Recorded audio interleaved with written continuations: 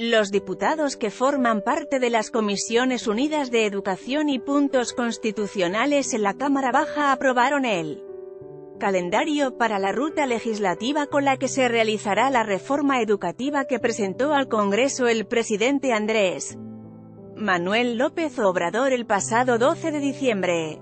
Los trabajos legislativos iniciarían este lunes 28 de enero, con la reunión que sostendrán los legisladores con Esteban Moctezuma, secretario de Educación Pública, a fin de conocer cuáles fueron los resultados de las audiencias que realizó la Secretaría para constituir la reforma presidencial. Liberados 200 MDP a Michoacán para pagos a CNT.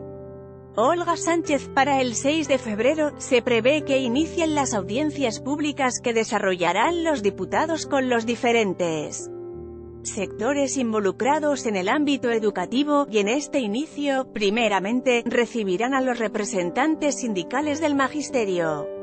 El 8 de febrero las audiencias públicas estarán conformadas con especialistas y académicos del sector educativo. Para el 11 de febrero acudirán legisladores del Senado de la República y diputados locales y federales. El miércoles 13 las audiencias públicas se desarrollarán con representantes de organismos internacionales y de la sociedad civil. El viernes 15 del mes próximo acudirán madres y padres de familia, junto con alumnos de diferentes plantes a fin de presentar sus propuestas.